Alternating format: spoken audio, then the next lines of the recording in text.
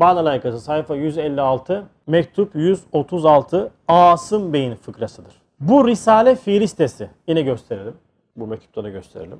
Yani Fiiliste Risalesi okunmasının okunması bile çok soruluyor. Şu Fiiliste Risalesi. Ayrı bir risaledir. Kitapların arkasından vardır ve okunması lazımdır. Ve şu üç mektup oldu değil mi? Asım abi, Hüsrev abi ve Hulusi abi Fiiliste Risalesi hakkında ki istifadelerini anlatıyorlar. Bu mektupta da Asım abi Fiiliste Risalesi hakkındaki istifadesini anlatacak.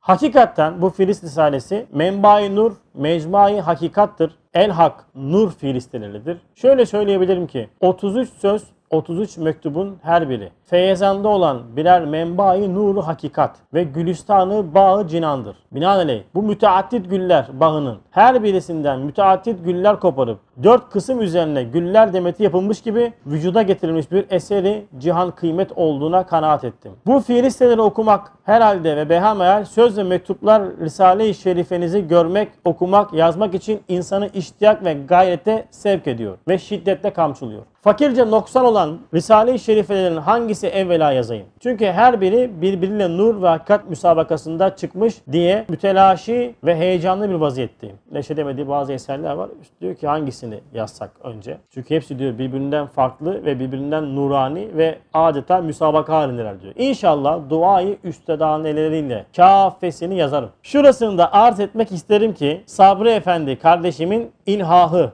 ve zat-ı üstadenelerinin ilhamı ile fiilistelerin telifi çok musib ve hayırlı hem hassiz hakikatlere anahtar olmuştur. Cenab-ı Hak sevgili üstadımızı afette daim, ömürlerini bereket, her bir umurunda muvaffakiyet ihsan buyursun da pek çok zamanlar başımızda tacı zafer olarak taşıyalım, hizmeti Kur'an'da çalışalım, yorulalım, yol alalım ve cümle mümini de istifade etsin, ehli bid'a ve milletlerin de başları yere gelsin inşallah diyor Asım abi. Badal Aykası sayfa 156 mektup 136'da.